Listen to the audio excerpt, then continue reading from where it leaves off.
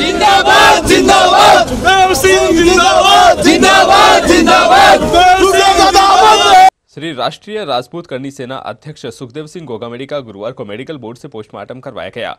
इसके बाद शव परिजनों को सौंप दिया गया है।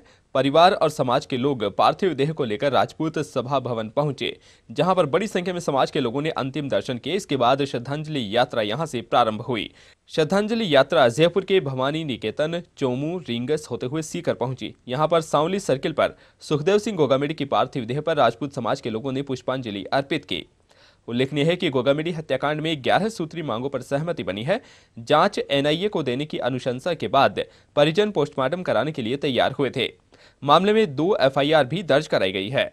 गोगामेडी की पत्नी शीला शेखावत ने हत्या का मामला दर्ज कराया है। साथ ही आरोप लगाया है कि पति ने सीएम और डीजीपी से तीन बार पुलिस सुरक्षा मांगी थी, लेकिन नहीं दी गई। इधर श्यामनगर एसएचओ मनीष गुप्ता, बीट प्रभारी और बीट कांस्टेबल को सस्पेंड कर दिया गया है। दूसरी एफआईआर स्कूटी सवार ने भी दर्ज करवाई है। मामले को लेकर डीजीपी उमेश मिश्रा ने एडिशनल कमिश्नर कैलाश विश्नोई के नेतृत्व में एसआईटी गठित कर दी। टीम में अधिकतर अफसर आनंदपाल एनकाउंटर वाले ही हैं। हत्यारों पर पाँच लाख का इनाम रखा गया है। उल्लेखनीय है कि इन मांगों पर सहमति बनी है, जिनमें दोनों हत्यारों को पुलिस जल्द गिरफ़्तार करे। आपराधिक साजिश में गैंगस्टर लॉरेंस बिश्नोई रोहित गोदारा और अन्य जो भी शामिल हो, उसके खिलाफ भी कार्रवाई की जाए। मामले की जाँच एनआईए से करवाई जाए और केस का ट्रायल फास्ट ट्रैक कोर्ट में चले। गोगामेडी को सुरक्षा उपलब्ध नहीं कराने वाले अधिकारियों की भूमिका सामने लाने के लिए हाईकोर्ट के रिटायर्ड जज से जाँच कराने और जाँच रिपोर्ट के आधार पर कार्रवाई की जाए। घटना के पहले और बाद में लापरवाही बरतने के संबंध में विभागीय जाँच की जाएगी। इस विभागीय जाँच के दौरान थानाधिकारी और बीट में तैनात स्टाफ को पुलिस लाइन जयपुर में ट्रांसफ़र किया जाए। सुखदेव सिंह के परिजनों को आर्थिक सहायता और सरकारी नौकरी दिलवाई जाए। घटना में घायल अजीत सिंह के परिजनों को भी आर्थिक सहायता दिलाई जाए।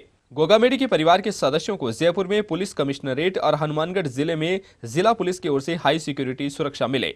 सुखदेव सिंह के जयपुर में रहने वाले परिवार के सदस्यों और हनुमानगढ़ में रहने वाले परिजनों को हथियार लाइसेंस का आवेदन करने के 10 दिन में स्वीकृत किया जाए। मामले में सभी गवाहों को जयपुर कमिश्नरेट या संबंधित ज़िले से सुरक्षा उपलब्ध करवाई जाए। सुखदेव सिंह की हत्या करने वाली गैंग के निशाने पर राजपूत समाज के कई प्रतिष्ठित व्यक्ति हैं। इनके खतरे का सात दिन में आकलन कर उनको सुरक्षा उपलब्ध करवाई जाए। तरह से दो दिन पहले हमारे करनी सेना के सुप्रीमो सुखदेव सिंह जी गोगा मेडी के घर में घुसकर जो हत्या की गई, उसके खिलाफ कल पूरे दिन पूरा राजस्थान बंद रहा। हमारा सरकार से निवेदन है, जल्द से जल्द जो भी हत्यारे हैं, उनको पकड़ा जाए। या उनका इनकाउंटर किया जाए। कल सरकार से वार्ता भी हुई थी सरकार ने हमें ये आश्वासन दिया है कि जल्द से जल्द जो भी आरोपी है उनको पकड़ा जाएगा और आपकी सभी मांगे मानी जाएगी।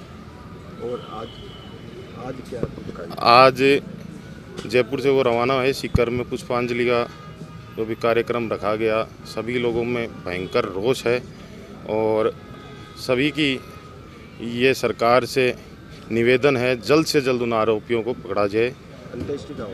अंतोष्टि बादरा गोगामेड़ी नाम नाम कुलदीप सिंह सबलपुरा करनी सेना जिलाध्यक्ष सीकर। आज हमारे करणी सेना के सुप्रीमो सुखदेव सिंह जी गोगामड़ी का पार्थिव शरीर गोगामड़ी ले जाया जा रहा था जिसके उपलक्ष्य में हमने सभी लोगों ने यहाँ उनके पार्थिव शरीर पुष्पांजलि दी है। और हम सरकार से मांग मांग करते हैं कि बेहतर घंटों में अगर इनकी गिरफ्तारी नहीं होती है तो हम अब शांत नहीं बैठेंगे। वापस इस जयपुर को हम जाम करने का काम करेंगे और पूरे राजस्थान को भी वापस बंद करने का भी हम काम करेंगे। क्योंकि जिस तरीके से टारगेट बनाकर और इन सर, टारगेट बनाकर इन सरकारों द्वारा हमला हो रहा है, सरकार हमारी कोई सुध नहीं ले रही है। जब पंजाब सरकार ये कह रही है कि साहब सुखदेव सिंह जी की हत्या हो सकती है, ये राजस्थान सरकार के मुखिया रहे, गहलोत साहब के कान में जू तक नहीं रही, ये बहुत निंदनीय है। और हम आने वाली सरकार से भी ये कहना चाहेंगे कि जल्द से जल्द इन आरोपियों को गिरफ़्तार करके हमारे सुप्रीमो सुखदेव सिंह गोगामेडी को न्याय देने का काम करे, वरना ये राजपूत समाज अब उद्वेलित हो जाएगा और सड़कों पर उतरकर उग्र आंदोलन करेगा।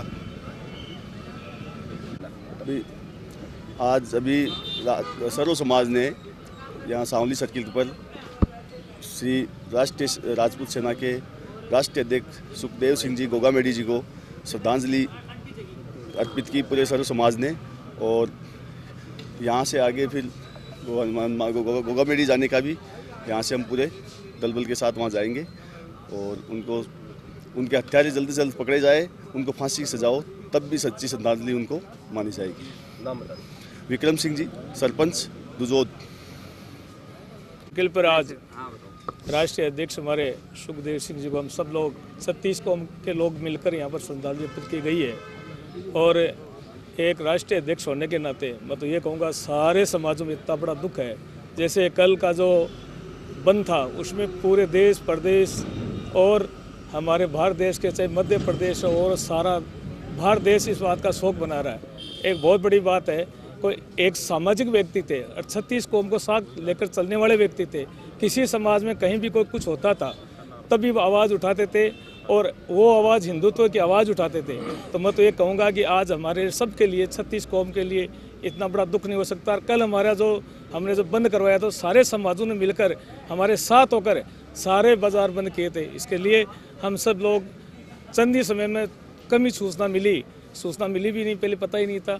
एकदम बचाने अचानक आधे घंटे पहले सूचनाओं के हिसाब से हम लोग सब लोग यहाँ छत्तीस कौम के आके श्रद्धांजलि अर्पित की सुखदेव दादा अमर। आज जिस प्रकार से राजपूत समाज ने इन दो दिनों के अंदर एक अनुशासित कौम होने का जो परिचय दिया है, मैं सरकार से और प्रशासनिक अधिकारियों से निवेदन करना चाहूँगा कि इस समाज को उग्र होने पर मजबूर मत करना। तुरंत समय रहते इन पर कार्रवाई नहीं हुई तो वो लॉरेंस और उसके गुर्गे जिस प्रकार से सोशल मीडिया पर पोस्ट करके जो धमकियाँ दे रहे हैं, हम उन जेलों को तत्काल घेरने का आपको दिखा देंगे और राजस्थान, यानी पूरे भारत के अंदर एक उग्र आंदोलन, पूरा समाज मजबूर होकर करेगा। आज दो दिन के अंदर जिस प्रकार से समाज ने एक अनुशासित कौम होने का जो परिचय दिया है, इस कौम को मजबूर मत करना। मैं दो ही बात कहूँगा, हमारे को गिरफ्तारी नहीं चाहिए, हमें एनकाउंटर चाहिए, इसके अलावा कुछ नहीं चाहिए हमें। धन्यवाद।